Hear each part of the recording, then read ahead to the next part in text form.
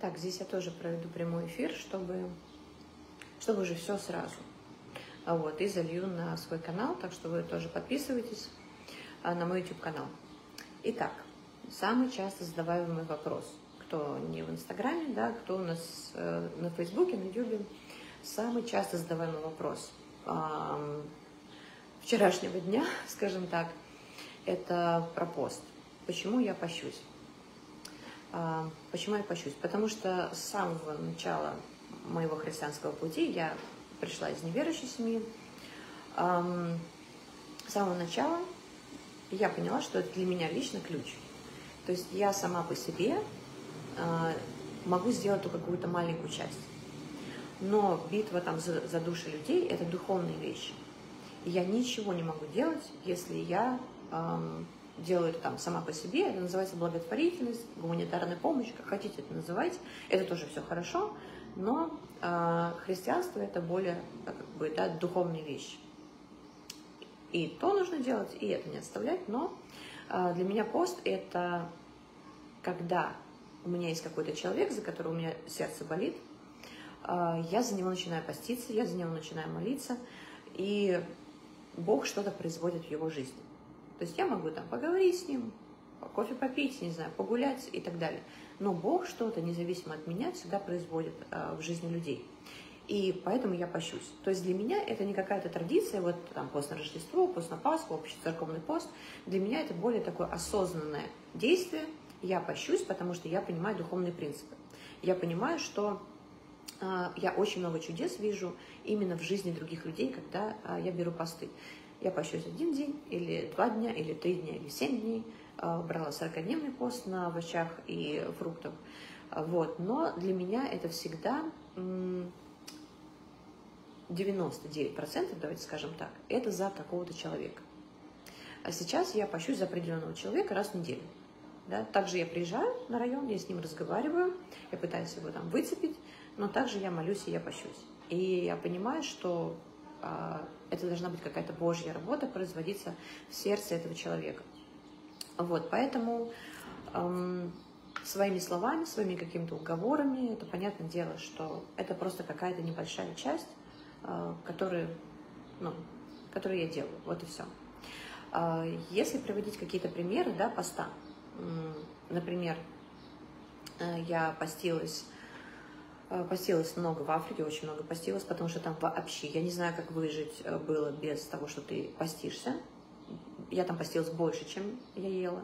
Вот. Без причастия и без постоянного общения с Богом невозможно выжить в таких условиях абсолютно. Поэтому я понимаю, что мне настолько ну, ну, нужно было зацепиться за Бога, мне настолько нужно было, чтобы Он меня вел и чтобы Он что-то делал, что я постоянно, постоянно, постоянно постилась. Да, дети на меня очень сильно обижались, потому что они мне всегда готовили завтрак, вот, и я делала вид, что я ем, чтобы их не обижать. И они мне говорили, Анти, мы знаем, что ты опять постишься. Я учила своих детей поститься кто хочет. То есть это по желанию было, да, я говорю, так, ребята, если не пощусь, кто будет со мной?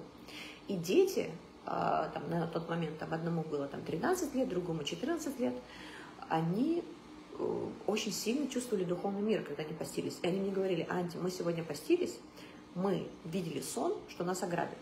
И в ту ночь, когда они мне это говорили, я, честно, это не очень восприняла всерьез, но они стали дежурить ночью по очереди, потому что они говорят, мы точно знаем, сегодня нас кто-то ограбит. И вот они вдвоем дежурили, и действительно к, нас, к нам залез вор и пытался нас ограбить. То есть для меня это был вообще шок, на самом деле. Вот. Второе, что я хочу сказать. Был у меня помощник в Африке, да, тоже, который там много чего мы с ним прошли, много чудил и так далее, и он э, избавлялся от наркотиков, избавлялся от травы, и я ему говорила, мы с тобой давай заключим завет, что ты не куришь, ты не глупостями не занимаешься на улице, вот, давай, все с тобой согласимся. Согласимся, да, да, да. Он мне пообещал. И когда он а, нарушил свой, вот это свое обещание, к нему женщина подошла на улицах, просто в трущобу, сказала, посмотрела ему в глаза и сказала, ты нарушил завет. И он прибежал домой такой просто вот, насколько можно быть бледным африканцем, да, он такой бледный прибежал, такой в шоке, в панике. Ты постишься сегодня? Я говорю, да. И он мне говорит, это, это просто как, как это, как это работает? Я говорю, это духовные вещи, это как Бог э, внимательно, серьезно смотрит на тебя, смотрит на твои обещания, смотрит на твою жизнь. Э, вот, поэтому, когда уже э, он что-то делал, он пока мне приходил и говорил, ты сегодня постишься? Я говорю, да. Он говорит, я тебе расскажу, ты все равно это узнаешь. Потому что там ночью мне снились сны, я сверхъестественно это все узнавала через такие вещи, которые ну, просто ну, невозможно это узнать. И он уже приучился, что если я пощусь, такой говорит, я сам, я сам, я сам все тебе расскажу. Вот. То есть для меня пост это было, ну и средство выживания тоже, можно сказать, и вот такие чудеса. То есть всегда, когда а, мы шли там в клубы или мы шли в казино и так далее, и так далее, мы часто постились за этих людей, и мы служили пророческими дарами, да, то есть не просто там говорили, Бог тебя любит, или вот еще что-то, разговаривали, нет, мы э, служили тоже пророческие. Э, вот, э, когда ты молишься за освобождение, когда я молюсь за освобождение, я всегда беру пост, то есть трехдневный пост, и потом ты молишься за освобождение человека. Это тоже как лично мое. Опять же, это мои какие-то ключи, которые я нашла, которые для себя я эм, эм, узнала. Э, также в, в той стране, где я жила, да, были наркоманы, за которых я постилась, за которых я молилась, и был человек, за которого я многие годы постилась, э, я его знаю там с подросткового возраста, э, и он жил в другом городе, он ко мне приехал э, в Москву, и он вот так вот открыл дверь в мою квартиру, начал так чуть ли не душить и говорить, каждый, каждую среду ровно в 13.00 мне плохо, меня разрывает, у меня что-то происходит, у меня какие-то духовные вещи, переживания, мысли о смерти, мысли а, о смысле жизни, о, о том, почему я так живу, почему я это делаю, это делаю, это делаю. И говорит, и я знаю, что ты в этот день молишься за меня. Но он не знал, что я не то, что молюсь за этот день за него, я за него и пощусь. В итоге этот человек пришел к Богу, он покаялся, он дал свое сердце Иисусу, вот, у него такое было резкое преображение. Сейчас у него там свой путь и так далее, но тогда меня это поразило. То, что он даже время назвал именно то, вот когда как бы я там за него начинала молиться, это очень было интересно. Я тогда закрылась от него в ванне, сказала, уходи, потому что, ну, это было ужас, он чуть не прибил меня, в общем. А был другой человек, который тоже был на миссии, когда мы были в Нарафаминске, мы за него, в общем, и ходили, тоже наркоман. И так я к нему подхожу, и так к нему подхожу, и говорю, давай там бросай наркотики, и молюсь за него, и это, и это. Ну, ни в какую. Я говорю, хорошо. Я говорю, я за тебя буду поститься. Он посмеялся, а потом через месяц пришел вот с таким лицом черным, и вот так вот говорит, хватит, я устал, пожалуйста, э, пожалуйста, прекрати. Я говорю, что случилось? Он говорит, с того момента, как ты стала за меня поститься, говорит, у меня все двери по все, ко всем барыгам закрылись я не могу настоять нигде наркотики. Говорит, это просто какой-то, это не может быть такого. И меня, говорит, взяли менты, меня побили, меня отвезли в лес. А, потом я увидела такую картину, сама это видела. Он украл кофе, они часто воровали кофе в там, супермаркете. И он бежит вот с этими двумя пакетами кофе. Он подскользнулся, упал, и его забрали полиция. И он говорит, я сдаюсь, я готов. Все, что мне нужно делать? Принимать твоего Иисуса? Давай, я принимаю. Он покаялся, он уехал на реабилитацию. Вот. Но, опять же, это то, что Бог что-то делает э, в сердцах этих людей. Это пост, это молитва, и это, опять же, моя какая-то небольшая совсем часть, да, но есть Божья часть, и когда ты сражаешься за этих людей, когда э, пост это не просто какая-то традиция, а когда э, я пощусь, потому что у меня сердце болит за этих людей. Меня болит сердце за этих детей на улице, да, там, а, вот за этих ребят, которые приходили с такой разбитой головой. И я говорю, слушай, я вчера так сказала парню, говорю, слушай, я уже не знаю, вот уже не знаю, вот как тебя вот так вот поймать, да, в карман к себе положить, чтобы ты остановился, остановился, вот. И я за него пощусь. И он мне говорит, да ты не поверишь. Говорит, э, и он мне обещал, кстати, тоже бросить наркотики, бросить криминал, все мне обещает, обещает. Говорит, я решил не приезжать на район, ничем не торговать. Но когда мне возникает такая мысль, я приезжаю, ты там. Говорит, это как вообще объяснить? Именно в это время, именно в этот день. Он говорит, Наташа, говорит, я тебя боюсь уже. Потому что а, я говорю, знаешь, я за тебя молюсь, честно, я за тебя молюсь, я, ну, я очень его люблю, хочу, чтобы он бросил все это. Но мои слова, да, Это мои слова. Но есть э, Божья э, сила, Божьи чудеса, и это просто молитва. Просто почему я об этом говорю, для меня это ну, настолько ну, очевидно, ну, конечно, ты постишься, ну, конечно, ты молишься. То есть я вообще не знаю, как без этого служить. Как служить там без пророческого, да, какого-то дара, ну, применения просто пророчества, даже не скажем не дара, а просто ты пророчествуешь, ну, конечно. То есть, я не знаю, то есть для меня это нормально, это естественно. И когда мне люди говорят, ты просто тусуешься, так, естественно, ты молишься, постишься и там плачешь за них, и пророчествуешь, и бесов изгоняешь. Ну, вот, это, наверное, нужно было проговорить, если люди, люди ну, не, ну, как бы не понимают или не видят очевидных вещей. Я христианка.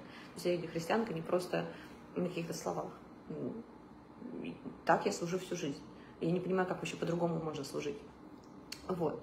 А, это мы разобрали пост, то есть я беру один день пост, два дня поста, три дня поста, семь дней поста. И мои мотивы, 99% всегда это за какого-то определенного человека. 1% это когда я встаю, я чувствую, Бог говорит, постись сегодня. За что я не знаю. Вот, да? Но в конце дня, например, или там через несколько дней Бог мне открывает, за что я постилась. Это, ну, так происходит всегда. Вот, а, постилась я 40 дней, я это рассказывала, что а, на овощи, овощах, фруктах я постилась в Африке, когда я стала тоже молиться за одного Э, человек, он известный музыкант, политик, и он колдун. И, в общем, когда я стала за него молиться, очень серьезно, мне стало там ночью бесы приходить, какие-то атаки, какой-то вообще, вот просто у меня, я как будто с ума сходила. И тогда я стала искать помощи. Я была одна в Африке. Кто мне говорит, ты такая гордая, ветру непокорная? Да, конечно, когда у меня есть запрос, мне, я всегда ищу эту помощь. И я нашла какую-то миссионерку, эм, американку, она жила тоже в Кампале, я приехала к ней и говорю, слушайте, помолитесь за меня, мне плохо, у меня вот это, вот это, вот это происходит. И она просто так помолилась за меня какой-то очень такой банальной молитвой, вот, и я поняла, что Господь меня учил, он говорит, Наташа, не зависит от людей. Смотри, есть я, доверяй мне. Вот смотри, вот сейчас наш путь с тобой, ты и я. Все, отцепись от людей, оторвись от них, а, доверяй мне. Но я не могла доверять Богу, не могла доверять себе потому что обязательно мне нужно кому-то было прилепиться, чтобы за меня кто-то там голову, руку возложил. В общем, Бог меня очень долго учил. Ему потребовалось 7 лет, а, чтобы наконец-таки вывести меня из этого состояния ребенка, а, вечно ищущего папочку, мамочку, за кого зацепиться, наставника. Вот. Э, доверять себе он меня учил, доверять ему, да, и не бояться этого. Не бояться говорить, что я действительно вот, ну, я доверяю себе, это хорошо потому что мы не, не животные какие-то, не какие-то там, я не знаю, еще кто-то. Э, Бог, если Бог говорит, что Он нас любит, нам тоже нужно учиться себя любить, уважать себя, доверять себе. Вот. А, поэтому это насчет поста. То есть это для меня сверхъестественные вещи, а, которые относятся к спасению определенного человека. Вот. Это раз. А, кстати, когда закончился тот 40-дневный пост, чем больше дней я постилась, тем становилось мне хуже и хуже и хуже. И я стала в последнее время принимать каждый день причастие. Каждый день причастие, причастие. И уже под конец а, настолько было демоническое присутствие в моей квартире, что я там спать не могла. Но когда 40-дневный пост прошел, вот в этот же день, вот все как рукой снял. Вот. И был такой момент, когда был конец поста, а, не 40-дневного, а другого просто, потому что я, когда закончила 40-дневный пост, я сразу же начала там через несколько дней еще пост. Потому что у меня вот так вот просто, я поняла, Господь, я без тебя не могу. А, я постилась за этого же человека три дня, и я приехала в клуб с одним моим другом. Это такой клуб, который просто вот Шарашкина контора, где там все а, черные, бухают. В общем, э, там просто трешак. Мы, мы сидим за столиком с вот этими пацанами, они бухают, и ко мне подходит ведущий и дает, э, дает протягивает мне пиво. Я говорю, я не пью. Он говорит, почему? Я говорю, я христианка. И он говорит, о, класс. И он на Луганде говорит, ну, про меня какие-то гадости. А я понимаю этот язык. Я ему говорю, я ему отвечаю на Луганде. И он говорит, так, стоп, подожди, ты что, понимаешь, о чем я говорю? Я говорю, да, понимаю. Он говорит, тогда на тебе микрофон, скажи всем, что ты думаешь. И мне ведущий дает микрофон, я выхожу к сцене и говорю, мы сейчас все склоняем головы и все молимся. потому что... И я начинаю просто вот в клубе им проповедовать. И все, как зайки, вот так вот склонили головы и стали молиться. И я говорю, и я молюсь за, называю имя вот этого человека, я говорю, я молюсь за его покаяние. И в эту секунду открывается дверь, входит он с его охраной, и вот такая картина, что все сидят в клубе, склонили головы, молятся, и как бы за него, считайте. Вот, то есть очень-очень много таких вот чудес было, которые так и не расскажешь. На самом деле это просто вот их было сотни таких чудес, я даже не знаю, надо как-то все это рассказывать. А, второе, о чем я говорю, это о том, что меня обвиняют, что я говорю, что не ходите в церковь. Я такого никогда и нигде не говорила. Ходите в церковь. Ходите в церковь. А, но а, давайте просто себе ответим на вопрос. Зачем мы это делаем? Честно.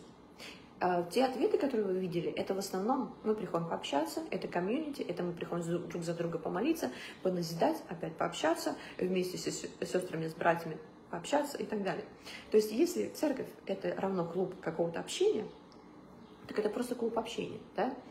А я думаю, опять же, это мое мнение, а, что церковь – это соль, это свет, и это ответы на те трагедии, которые происходят сейчас в нашем мире – происходят войны, геноцид, происходит а, детский трафик, происходит и так далее, э, много всего.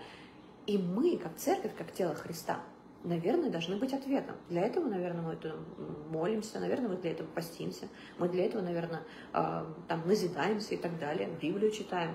Вот. Но как, если честно вы себе ответите, зачем вы туда ходите, Потому что там хорошо, там приятно, там можно попить, там можно получить какое-то вдохновление. Но когда мы уже вырастем, когда вы уже там 20-30 лет входите в церковь, и вы все хотите, чтобы вас вдохновляли, и поддерживали, и вдохновляли, и поддерживали, а, ребят, ну, люди погибают каждый божий день от страшных э, трагедий. А, в ЮАР до сих пор детский рынок, где продают деток, да, э, войны, э, я не только про войну в Украине говорила, да, я говорила про войну в Южном Судане, я говорила про детей солдат а, в Конго и много-много-много всего. То есть мы не ответ. Более того, те, кто мне звонят и говорят, сестричка, э, сестричка уже, красный флажок вот так вот надо мной летает, сестричка, э, Иисус говорил, не бойтесь и не ужасайтесь, будут войны, этот тире равно вы хотите сказать, чтобы я закладывала глаза и не обращала внимания на войну, не обращала внимания на вот все это говно, да? Хотите, чтобы я такая была милая, приличная христианка. Так вот, что я вам хочу сказать. Я ужасаюсь, но я ужасаюсь больше от того, как вы реагируете на те трагедии, которые происходят, на несправедливость, на жестокость. Вы реагируете так. Вы говорите, не смотрите туда, а это не наше дело, мы призваны там молиться и так далее. Вот от этого мне жутко, от этого я ужасаюсь. И те люди, которые мне вот пишут, звонят и говорят а, именно вот этот постулат, не надо мне этого говорить, не надо мне звонить, не надо мне писать, мне от этого больно. Мне не больно, когда вы меня там хаете, обзываете, мне смешно, вот честно, вообще, меня ничто не может коснуться. Кроме того, что вы говорите, что а, не обращая внимания на войну с Украиной, например, да, не наше дело, мы призваны там где-то молиться. Ужасно страшно жестокая позиция, и это церковь. Так вот, я с этим абсолютно не согласна, поэтому, что касаемо ходить в церковь или не ходить, ходите в церковь, делайте, что хотите, это ваша личная жизнь. Я нигде не призываю не ходить в церковь. Я говорю, задумайтесь, зачем вы туда ходите. Посмотрите на ваши честные ответы. И скажите, а для этого ли Христос создал свою церковь? И я верю в невесту Христа. Я верю, что врата ада не одолеют ее. Э, я верю, что Бог создал эту церковь. Но для чего? Чтобы мы там сидели, еще друг другу глаза закрывали на войну. А, тело Христа, если вы говорите тело Христа, да, церковь, оно не может сидеть и болтать, и изучать, и друг друга вот назидать, какие мы бедненькие, несчастненькие тело Христа, оно идет. У него есть руки, ноги. Для чего? Голова, чтобы думать. А куда идет Христос? Наверное, в темные какие-то места он идет. Так э, вот о чем я говорю. Просто подумайте, для чего? А, такой стих, да, мне прислали. Не оставляйте собрания своего. Прекрасный стих. И опять же, если вы видите комментарии девушек, которые мне пишут, это не единственные, кто мне пишут. Многие я не выставляю, потому что, да, это там, они просят не выставлять. Но это жуть, что творится. И если вы скажете этим женщинам, не оставляйте вот этого собрания, а, ну, вызывайте полицию тогда сразу. Вы о чем говорите? Это манипулятивный стих из Библии. Вы знаете, что Библию можно прекрасно манипулировать сознанием людей. Но Библия – это живое слово, которое приносит свободу людям. Так вот, э, если вы говорите, не, не оставляйте собрание своего, это не значит, что эту церковку, которая называется Алина, не знаю, там, э, пальмовая ветвь, да, и вот ее вы не должны никогда, вот умереть не должны. Но это не так, это неправда. А, я вам могу сказать, что есть другой стих. Бойтесь закваски фарисейской. Что это значит? Бойтесь религиозников, бойтесь вот этих законников. А, и распяли Христа не гангстеры, да, а, а распяли Христа вот эти вот религиозники, потому что он, они его позвали к себе домой, накормили, дом свой открыли, и так к нему, и так, и думают, вот как мы хорошо его приняли. А он зашел к нему домой и говорит, лицемеры, придурки, ну так и написано в Библии, дураки, фу, а, вы полны жадности, вы полны коррупции, и он их хает. То есть люди уважаемые учителя да, пригласили Иисуса к себе домой, а он их давай хай. То есть там ничего хорошего он им не сказал. Они же дверь свою открыли, они же, как для меня церковь делала только хорошее. Я не обижен на церковь. Дверь открывали, кормили, все прекрасно, идеально. Но Иисус, в отличие от меня, лицемерки и созависимой, не был созиком, не был угодником, как и я. Понимаете? Он говорил все, что он думал. Вот за это вы его распяли. И вот поэтому а, мои там стримы какие-то не наберут э, миллиона гонечков или перепостов.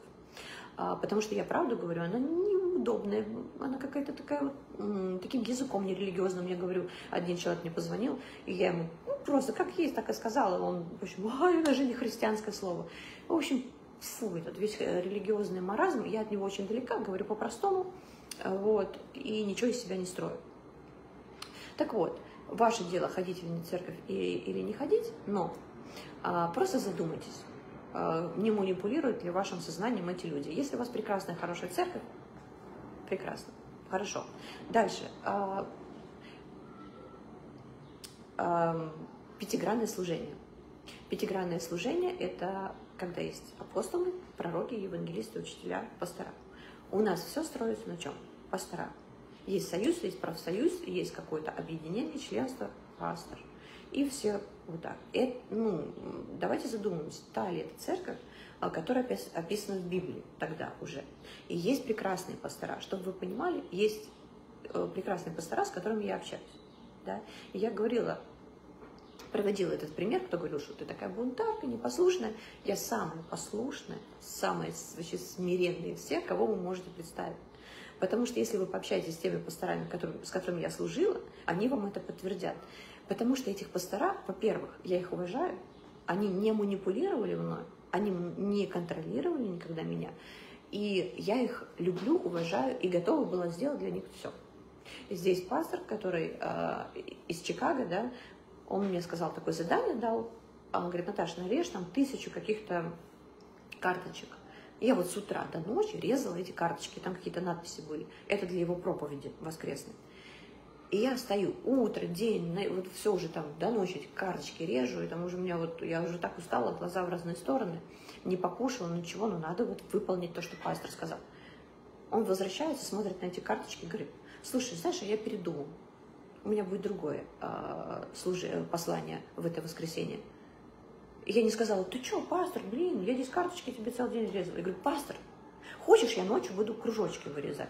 Ради тебя все что угодно. Я это говорю искренне, потому что я ему так благодарна, я бесконечно благодарна очень многим людям.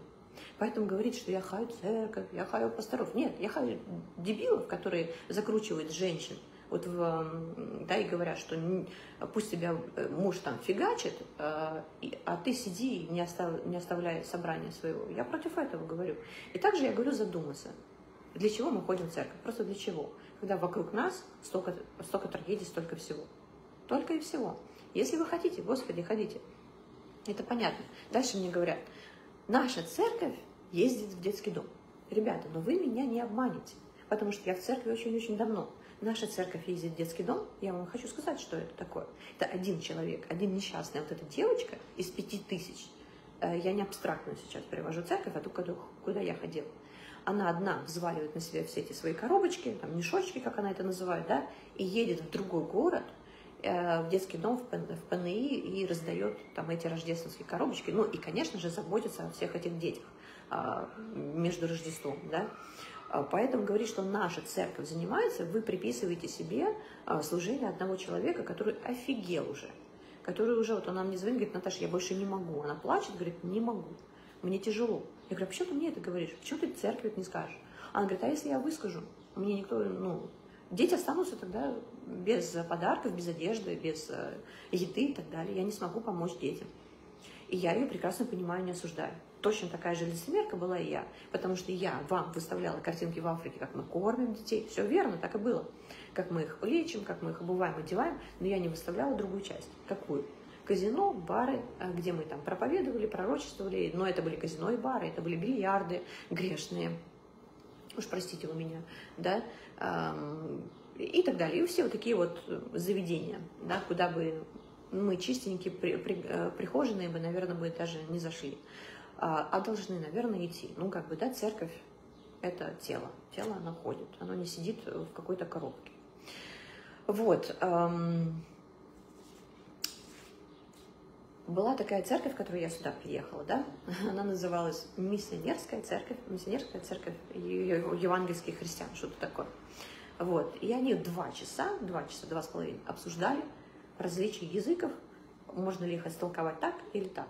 И вот я уже сижу и так, я уже и так сижу, я уже не могу, я уже просто думаю, господи, мне самим не скучно это все обсуждать. Я уже вышла погуляла, я уже пошла туда, уже кофе попила, уже сижу, думаю, сколько можно этому солить. А, меня попросили на 7 минут выйти, рассказать там свидетельство про Кению, даже не про мою страну, да, что можно в 7 минут запихнуть в 7 лет, которые я там прожила. Но я сказала что-то такое, ну, в общем, такое что-то сказала, а вот, потому что я там работала на одной организации, и я сказала про них.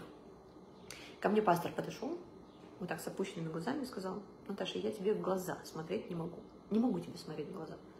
Миссионерская церковь. Я ничего не сказала вообще. Ну, это взрослый мужчина. И да, и мы, каждый из вас э, взрослый, мы ответим, наверное, за себя. Просто, наверное, нужно задавать э, себе вопросы, другим вопросы, размышлять. Да, для этого нам, ну, наверное, голова нужна. А, дальше, что я хочу рассказать, э, да, так сказать, обсудить, это то, что вы говорите, что а, спасение – это равно хождение в церковь. То есть, если я не хожу в церковь, по-вашему, я не спасена. Это не библейский принцип, да? потому что я, а, которые по вашим меркам, они очень неверующие, они далеки от Бога, они такие вот э, и так далее. Но когда ты с ними общаешься, когда ты с ними близко общаешься, задаешь им какие-то вопросы, ты видишь, насколько у них чисто детское сердце. И таких вот я видела и бандитов, и наркоманов, да. А, кто-то из них покаялся, отдал свое сердце Иисусу, кто-то, я не знаю, тоже не могу сказать, да. Но эти люди переживали, знали Бога и общались с Ним, да. И многие из них а, спасены, я уверена, потому что их детское сердце чистое, намного чище, чем наших вот этих вот махровых религиозников, которые стоят э, с кафедры и там вещают вы не можете взвешивать э, сердца. Да? Мы можем об этом рассуждать. И осуждать мы можем, критиковать мы можем, это уже другая тема, да? Но вот так вот говорить, что церковь – это равно спасение, нет, это манипуляция чистой воды, это неправда, это не библейская позиция. Церковь – это семья, вы говорите, да? Семья – это тире, ты хочешь детей, это семья – это тире общение. Так смотрите, я не хочу детей, у меня их никогда не будет. Ну, значит, церковь что? У меня уже что-то там рушатся, какие-то принципы. А дальше, если вы 40-летний мужик, и вы до сих пор сидите в семье с мамой и с папой, что с вами не то? И я думаю, что самостоятельность – это то, чему нас вообще не учат. А нужно бы, наверное. Потому что самостоятельность – это когда, представьте себе, что вы эм, оторваны от пастора, от подружек своих, да, от своего хора, от наставника, от вот от всех, вот от всех оторваны, и вы в чужом городе или в чужой стране, а такое может быть. На чем тогда основывается ваша вера? на проповедях ваших я почему не спасена? Потому что я проповедь вашу в воскресенье не послушала. Хор ваш не послушала, и не пообщалась с милыми э, братиками и сестричками. Моя вера на этом не основывается. И кто мне пророчествует, э, да, уже там 20 лет и больше, а, что я там грешница, я оступлюсь, да каждый может оступиться. Поверьте, я не это самое, не ангел, который летает в небеса. Каждый может оступиться. Но э, я понимаю, что моя вера не строится на проповеди воскресенья. И она не строится на том, что пошла я в церковь или не пошла. Она строится на моем желании общаться с Иисусом и на моем желании, чтобы э, люди спасались. Все. Э, поэтому говорить, что церковь равно спасение, это равно манипуляция. Э, не верьте этому, это неправда. Да, церковь равно семья, это просто отчасти, это хорошие люди, да, там, с которыми вы общаетесь, прекрасно общаетесь. Но, но когда вам 40 или 30, подумайте, а, сможете ли вы жить самостоятельно, будете ли вы Бога любить самостоятельно, без всяких пинков, подзатыльников, а, без всяких накачиваний веры. И я думаю, что как если вы хотите большего чего-то, да, если вы хотите действительно глубоких, серьезных отношений, вот именно к этому Бог вас будет вести иногда, что вам нужно будет самостоятельное решение принимать, вместе с Ним, на Него уповать, а не на пастора, подружку или какого-то там лидера. Э, головой свою думать. И это называется взросление, чего у нас и не хватает в церквях. Мы все маленькие дети, которые можно вот так вот крутить, манипулировать. Они все равно будут сидеть, не оставят собрание своего, так и просидят. Но вы не сможете сделать что-то ну, весомое если вы не вырастете, потому что э, рост – это принятие решений самостоятельно. Не когда вы постоянно бегаете к мамке или к папе да, и советуетесь. А советоваться хорошо, когда у вас есть запрос. Когда у меня есть запрос, я советуюсь. У меня был наставник, его звали Ральф, да, пророк из Канады. А, этот человек, которому, во-первых, у меня были взаимоотношения, а, он был моим наставником, это дедушка, да, и который учил меня пророчествовать но он знал. А, то есть мы с ним дружили, понимаете, у нас отношения были. Он меня учил, там, я с ним везде ездила и так далее. И он понимал, кто я. Самое важное, наверное, он понимал, кто я. Он мне всегда говорил, Наташа, ты должна следить за политикой, ты должна разбираться в политике, и ты будешь говорить церквям. И вот это я никогда не верила, что я буду говорить церквям. Я думаю, да, он везде правду про мою жизнь говорит, но вот церквям говорит самое скучное дело, которое я засну. А сейчас я не могу просто. Все, все сбывается, все его пророчество сбывается. Мне бы не хотелось. Мне так хорошо там на улице, с этими вот пацанами, господи, у меня просто отдушина моя. Кто-то говорит, ну да, тут тусуешься. Да их, слава богу. Отпустите меня, отцепитесь от меня, дайте потусоваться. Вот. А, но я, почему говорю церквям? Потому что мне, я смотрю столько нужды, а я не могу ничего сделать. Это бессилие какое-то. А мы зато сидим, три рукава Ефрата обсуждаем под 30 лет. Ну какой позор. Вот почему я говорю церквям. Задайте себе вопрос, чего вы там сидите? И откройте глаза, посмотрите на нужды этих э, людей вокруг себя. Почему я говорю постоянно церквям? Это мой меркантильный интерес, потому что я не могу достигнуть этих людей. Мои дети как умирали, так умирали. Эти пацаны там как стреляются, как стреляют. Но зато мы общаемся. Вот, поэтому вот так. Когда у меня есть запрос на наставника, да, какого-то, я обязательно спрошу совет. Но не прошлых советов, да, и каких-то людей, которые, у меня там нету со многими отношений, да, здесь. И вы мне пишете какие-то советы. Абсолютные глупости, иногда мне очень смешно, не зная меня, да, лично, не имея со мной отношений, не имея со мной какого-то общения. Вот. А, мне люди каждый день практически пишут, что у них вот такие страхи, у них вот такие там времена на них наложили, у них бесконечное чувство вины, да, то есть мне говорят, ты такая гордая, ты такая уверенная в себе, то есть, смотрите, мне вменяют чувство вины, что я уверена. То есть, когда к вам сестричка пришла и говорит, помолись за меня, за что мне страха не было, я такая неуверенная, и вы молитесь над этой сестричкой, чтобы она была уверенная, э, смелая, как лев, ля-ля-ля. И вот когда она уверенная и смелая, и твердая. Вы говорите, фу, ты гордая. У вас биополярка какая-то получается тогда. Нет, ребята, а, любить себя нужно, потому что Иисус нас любит. Быть твердой в своей позиции – это хорошо. Быть уверенной – это хорошо. А, и, естественно, конечно, я ну, хожу с Богом, я его люблю. То есть эм, я говорю то, что ну, то, что он мне говорит. А, и я в этом уверена. И это неплохо. Представляете, вы меня чувство вины, поэтому больше никогда не повесите. Потому что быть уверенной это не плохо и не грех. Вот. Вот.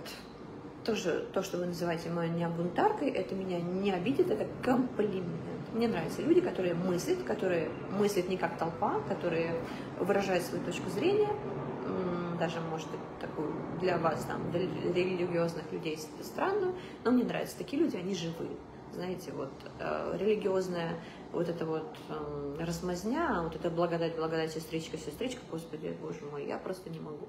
А, и опять же, да, вот раньше мне говорят, что ты такая была хорошенькая в Африке, выставляла все эти рилсы с детишками, сейчас ты такая фу, ужасная, э, критикуешь, и ты такая злая. Э, вы знаете, то, что говорит твердо свою позицию, то, что я думаю, это не значит злость. А, это не значит ненависть. Это значит, что будут они слушать, не будут они слушать. Говори. Да, и Еремия, да, там, Исаия, они осуждали власть, осуждали народ, осуждали церковь вашу любимую, которую вы да, не хотите, чтобы э, я осуждала. Но если мы не будем этого делать, если мы не будем честно себе задавать вопросы, отвечать на них, зачем нам нужна сейчас церковь, да, а, зачем вам нужна церковь, давайте скажем так, если об этом никто не будет говорить, если будете замазывать это все благодать, благодать, все хорошо, хорошо, только не дай Бог не затронь нашу церковь, это в перспективе, я смотрю на тело Христа, понимаете, я вижу тело Христа, оно в упадке, оно просто вот, ну, оно застыло, оно сидит, обсуждает там что-то, оно там общается, а, да, и вот от этого мне больно. Мы не ответ на трагедии мира, вот почему я говорю. А, поэтому я говорю не из позиции, что я там ненавижу всех, а из того, что, блин, я очень люблю церковь, и врата ада ее не одолеют. Если мы... Знаете, что такое пробуждение? Это не то, что вы все такие раз, Дух Святой сошел, и вы встали и пошли. Нет. Когда вы скажете честно себе, зачем вы ходите в церковь, а зачем вы стоите за кафедрой, да, честно, и куда вы идете? А, семь дней в неделю. Ну, шесть дней в неделю, да, в воскресенье вы ходите в церковь, а шесть дней в неделю. Да. Э, поэтому просто рассуждаем, отвечаем на вопросы, задумываемся, размышляем, и это неплохо. Неплохо думать своей головой. Вот, поэтому, э, еще раз говорю, э, я прекратила быть угодницей всем, да, выставляю уж как есть. Раньше я играла там в бильярд и это не выставляла, потому что хотела вам всем угодить и быть э, для вас удобной. Сейчас я этого не делаю. Я покаялась, и вот если я играю с пацанами на районе в карты, я играю с ними на районе в карты, на ужин. И кто, в общем, проиграет, тот зовет на ужин. Ну, за ужином мы поговорим. А, поэтому вот так хотела еще рассказать там про отношения мужского пола, женского пола. Это тоже для нас страшно. Просто вот очень мне жаль, что мы какие-то вот ненормальные, понимаете? Есть нормальные общения между мужчиной, между женщиной. Есть дружба, есть нормальная а, какая-то вот, ну, здоровая атмосфера. Мы какие-то вот нездоровые, мы шарахаемся от всего, мы все боимся, мы боимся упасть.